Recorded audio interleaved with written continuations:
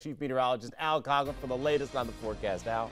I don't know. We got monkeys on the run, emus. I heard a report out of Newberry, South Carolina, of Bigfoot last week, a sighting. I mean, there's a lot going on down there uh, over the last week or so. Hey, want to take you up to Lake Norman. I can't get enough of the shot. I mean, there's just a nice. The full moon has got a reflection coming off of the lake here this morning. Clear skies here, but it's not clear everywhere. We actually have excellent visibility in Charlotte, but you go just west of town, it's a totally different story. Right now, zero visibility. Shelby, Gastonia, down to Rock Hill, a mile, Statesville, Lincolnton, Chester. So use caution early this morning. That fog is going to lift very quickly, though. As the sun comes up, it will burn this off. But it's cold out there this morning. We're 43 in Charlotte, 40 Denver, Westport, Dallas, Belmont, 41 in Clover, 45 Steel Creek.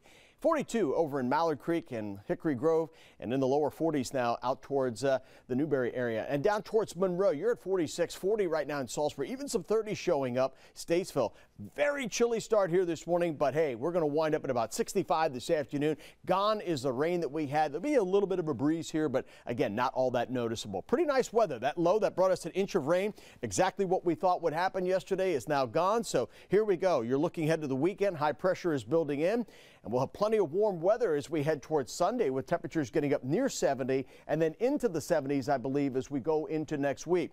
So right now, Sunday looks to be a little bit warmer than Saturday, but both days pretty nice, though there may be a little bit of patchy fog around early in the morning on Sunday. Cool breeze here for today, 65 degrees, mostly sunny skies. We've got those high school football games tonight. Big one is going to be Lincolnton taking on uh, Maiden, so temperatures will be in the 50s to start, falling into the 40s. Uh, South Iredell and Hough, one of the big games as well. All the highlights later on this evening with uh, the guys. And then Saturday here, as I mentioned, we've got a good one. It'll be cold in the morning, so if you are going to do that marathon near 40, we wind up in the mid 60s in the afternoon. One thing I do want to point out, the next round of rain we're starting to see coming into play here is Wednesday showers.